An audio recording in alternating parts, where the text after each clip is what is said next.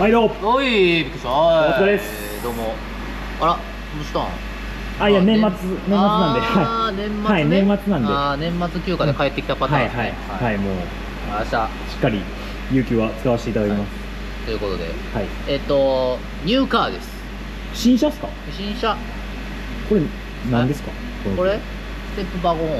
あステップワゴンですか？そうそうそう。なんかめっちゃゃかっこよくなってません？まあお個人的にはデザイン割とまあ昔からあのデメキン以外は結構好きやけど。デメキン？え？あのデメキンわかるやろ？まあまあまあまあまあ。あのまあデメキンも嫌いじゃないけど、うんうんうん。ちょっとデメキン出た時がちょうど俺が、あのホンダでああのいろいろやっちゃった時はいはい印象深いのはあるんやけど、はいはいはい。ちょっとデメキンの時は攻めたなとは思った。なるほどそういうことか。でまあ今これが新車でございますがこれ見てなんかさシフトがボタンになっとん。うわ。だけここでなんかこうやってやってリバースとかこうやって押してドライブとかまあニュートラルパーキングってなっとんよ。ははまあこれが使いやすいんかって言われたらそれはまあさておき。知らんけどで それはも最近増えとるな、多いですね。うん。であとはもうメーターがほら全部ディスプレイメーターになりましたよ。一応多分光でゲーなんとなく見える、うん見えます。なんかなへー。ディスプレイメーターになっとって。もう針はなくなったんですよ。もうなんか針ない。あの実物の。そうもうそんなものはお前さんって話よ。だけどほらこうやってなんかブイーンって動いて出てくるブイーンってヒュイーンってなんか。でなんか確かな俺ちょっとボタンも忘れたけどどっかでなメーターのデザインとかもな変えれるはずなんよ。マジっすか？ウィやりたい放題ですそうねなんやって。まあなんでへー。あのいろんな意味で進化してますしほうほう。まあなんかもう最近標準やな。ここにだってもう USB があってあまあこれは必需タイプ C やん。タイプ C なんですか？うん。モデル3と一緒じゃないそうねタイプ C までついとんやって。へー。ちょっとせっかくなんではい。後ろも見てみましょ後ろ開けてみて。はい。ちょっと待ってよ。うそうそうよいしょね。はいあまあでもボンネットも。意外とねその、はいなんて言っていいかな。意外と新車も売ってますんで。いやもうこうちゃんと。たまになあの今うまいタイミングでこうやって来てくれたらな。はいは動画撮れるんやけどこんな感じでニャニャニンのりです。いえなんかうんセパレートシートでこれなあこれな便利やなと思ったのがはあはこれこうしてまあならあちょっと待って前後な。明るさが足りない。はい。こう前後これは動くやん、はいはいこれはまあ当たり前やん、はいはい。でこっちもこれおこれどっかで見たことある。これ引っ張っとくだけでこれできるやん。ってこれ。これ便利やなと思って。すごっ。なんかマウスみたいですね。なんかね 別でこうなやらないかんのとかもいっぱいあるやんか、はいはいそれはまあちょっと面倒くさいなって毎回あの思いよったし、ほうほう。覚えるのも大変やと思ったけどこれやったら全然したえそれはちなみにおえ待って。足も出たオットマン付きやですごっステップワゴン高級車じゃないですか。ステップワゴンもう高級車やな。マジっすか？もう全然高級車じゃんほんまに。へー。えこれあれですか？その動くのはこの奥にしたらうん。あのいっぱい下がるみたいな感じですか？多分分からんけど。ここまでやな、まあ、ここにしたらうん。ここにしたら、うん、もうそろそろねあやっぱ下がった。ねちょっと怖くて見えない。はい。いい感じよ、えーいいじゃないですか。いい感じいい感じ。素晴らしい。で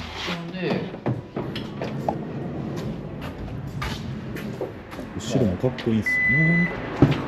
え電動？電動やで。やば。いかつ。電動やでもう。ステッすプワゴンごいっすね。ほらあのあ。ちゃんと電動ダンパーが太いついてってで何が素晴らしいって。はい。うわ。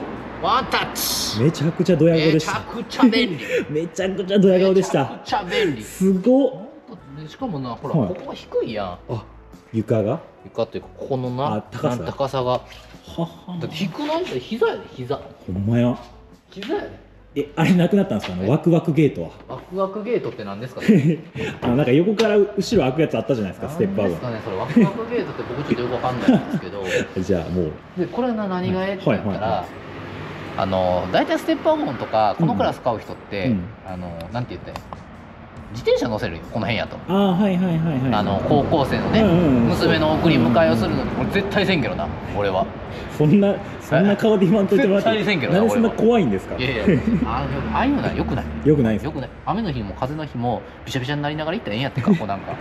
で、まあまあ、そうでもまあそんな乗せる人にとっちゃもうこはい。この高さがこの高さなのかこの高さなのかはめっちゃ重要なんやって、はあまあそりゃそうですよね。うん、前さんあれやで、はい。この3列目にもこのなんか電気マーク BB マークついてえ？C ついとるわここにも。俺。ほんまや。あもうこんなとこにもついとるねこれ。生意気ですね。うん。だけどもう別にえ。こんだけの装備があったら、はもういらなくねって感じやな。いすごいな。えじゃあ結構お高いんですか？えっ、とな、400万以上はする。ああまあ。えでもこんだけついて400万やったらうんまあそれはするでしょっていうなんだっけ、まあアルベル関係とか、うんうんあの辺買うに比べたら、うんうんまあリーズナブルな感じはするし、まあ正直あとは、はい俺はアルファードベバーになるとでかいんやね。ああはいはいはいはいジャペンに道で走るにはちょっと辛いってなるほどやっぱこれぐらいのサイズがいいですね、俺は。で、これ。はい。ハイブリッド先生ハイブリッド先生です。なんで、あの燃費もよろしいでございますしね。へえで、あのもう普通の人が乗る分には、うんうんまあ、ちょうどいいんじゃないかなと。いいですねまたこれそうなん。まあ、デザインもな、かっこいいっい。すよそんなに嫌いじゃないけどな。かっこいいっすよ本当にまあ、ということで、はいじゃあ最後にね、我がチャンネルですので、はいせっかくなんでちょっと上げて見てみましょう。はいはい、ということで、下回り撮影でございますね。はい。はい。まあ、新車がやるのは初めてやな、そういえば。めちゃくちゃ綺麗です。当たり前ですけど、まあそうやな。今まで何台も新車の方は販売はしてきとるけど、はい。まあ大体バタバタして納車するけんこんな暇がないんよな、そうですね。まあ年末である程度こうちょっと暇ができとるけできる新曲でございますはいはい。ということで見ていくんですが、はい。まずよ。はい。はいえっ、とね低床床が低い。床低い。床低いよ。だってなぜならほうほうほわかる？これが床下のラダーフレームのところでそのままの高さぐらいでこう来とるやろ？わかるかいこの辺。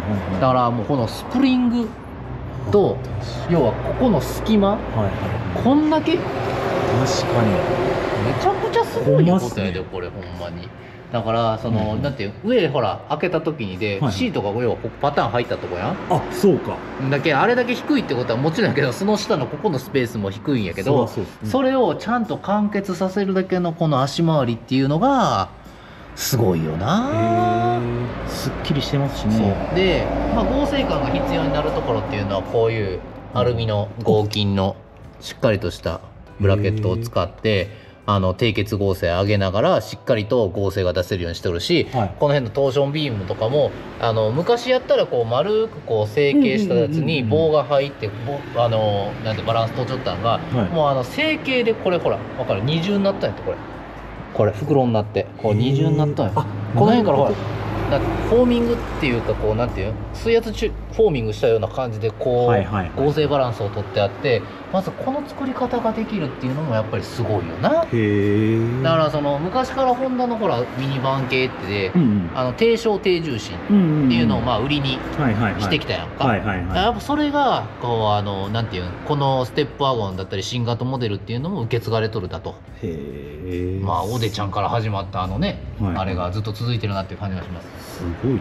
でこのまんまずーっと、まあ、タンクのところのだから下を通すことができんけ、はあタンクも低いやんこれ。あうわほんまや。タンクも低いぜこれほんま1低いっすね。だけこの横を通しながらねタンクレイアウトを避けて。そうか。ホンダ車これ多いですもんねこの横そうなん余計パイプ。でほらもう豊正幸さんのもうこのなこのこのこの造形よすごいでほんまに。綺麗やで。マこれジではもう当たり前ではないんです当ねたり前ではないよ。なかなかできんで。これほんま。でこの辺も多分ここに、えー、とバッテリーかな。ああハイブリッドですね。ここにこうほらちょっと当たって、はいはいはい。ここにハイブリッドのバッテリーがあって、はいはいはい。でこのまんまこのままずーっといくんやけど、うんうんまあ高電圧線があったりとかね。な、はいはいはい。でフロントのえーっとこれがメンバーなんやけど、はいはい。もう最近トレンドになっとるメンバーのこの低血合成を上げるためのステフナー系な、まあやっぱこういうところでこう少しでもこうなんていう？の、えーここのメンバーがしっかりとボディ止まるようにするとやっぱハンドリングが良くなるけん。こういうところやったりとか。あとはこのプレス材で作っとるこのサブフレームの造形がすごい、すごいんですか？すごいよ。だってこここんだけ袋にこうやってしときながらこれ全部プレスで作っとんで。あまあ確かに。こんな複雑な形。でここら辺なんかもすげえ複雑よ。この辺見て。ここら辺とかほもんまやな。こんなのよう作るわって思いながら。これこれ穴開けとんのは軽量化とかいろんなまあ兼ね合いとかもあるんでしょうね、であとはこれ。はここ。ほう。これあのラック。はいはい。な、ね。ステアリング電動パワースっていうのな、はいはいはい。ラックが細いっしょあそう言われてみればそうかも。細いやろ。ははこれ分からん。分かりにくいよボールペンがこれよ。あ。細いんよこれ。このラック。なんか昔のあのなんか86の重せラックぐらいしかないん。や、へでまあ全部もううん。そのパワーステアリングの、はいはい。えー、と制御というかその自体はこはい。のもうコラム側の方なここのこっちにまあ入っとるっていうのはあるんやけどそれにしてもやっぱこの辺がシンプルになってすごいスッキリしたよな。すごいっすねで別部品じゃなくてこういうとこも一体成形してるのこれ見える？これこれな。ああはいはいはいはいはい。こういうとこな、はいはい。今までやったら例えば別部品だよこれは。あそうなんや。でそれを一体で成形することによってこ点数が減ってなおかつここら辺もざぐりこうやって入れたらはいはいはい。軽量化できる。はは。でキャストで使うアルミ材もこう少なくできるけんこの辺もなそのサプライヤーさんのもうあのなんていう執念というか意地を感じるね。すごいですね。そう、まあ、あとはまあもうこの辺からもうグイッと見て、はいはい。あこれ見えるかな、はいパインマニですね。はいはいはい。でプラインマニとここ。これアルミ。ほうほう。あうんちょっと見えんけど。あこの下から見たらはいはいはい。プラアルミの複合な、はいはい。だから両方のええとこ使って、はいはい。あの構成の方をしてあったりだとか、はいはいはいはい。えーっとここが電動のスロットルか。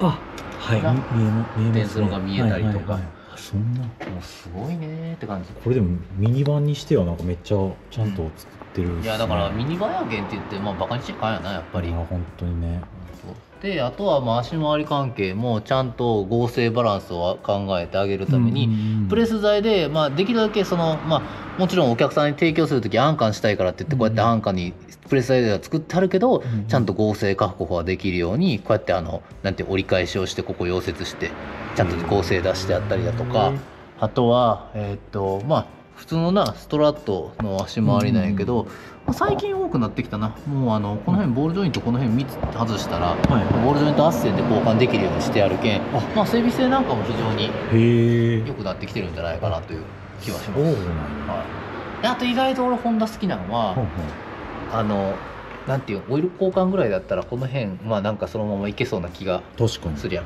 うなん。かドレンだけやったら。な。まあ、できれば俺的にはもうそんなことするぐらいやったらもう全部ガバッとしてしまって、うんうんあのパカッてのけれる方がいいかな、まあ、フィルターはここにありますわ、ああなるほど。フィルターはのけないかんねフィルターはのけないからな、ははい、まあでもなここから前にかけてもかなりこう、重要な部分の整流はちゃんと効いとるし、まあ、その他に含めても、まあ、非常に綺麗に作ってあるんじゃないかなっていうのが感じられる下回りでございますな。なるほど、はい。これあれですね。走り良さそうですね。そうなんかやって。まあなんでねまあさすがにあの新車でブイブイ走るわけにそれはちょっとといかんですね。それをちょっとお届けできないのがはい。残念ではありますが、まあぜひね皆さんもあの最近のミニバンっていうのもねあの侮るなかれというのを見つつ、えーぜひねあのもう最近さはい。車のカタログ見てもあの下回りの画像とか足回りの画像とかうんうん。性能曲折なんかもう載ってるんや。いやナイスナイスそんな。なね。なんすかそれ。だけどぜひねそんなところにもねちょっとあの目を向けてねはい。ぜひ車選びなんかしていただけたらいいのかなと思いました。い、ということでそんなね、まあ、うちの新車紹介はこんな感じでございました。それではチャンネル登録、高評価メンバーシップよろしくです。ではまた、バイバーイ。ドイツからやってきたワグナー MC オイルワグナー MC オイルあなたの愛車にこの一本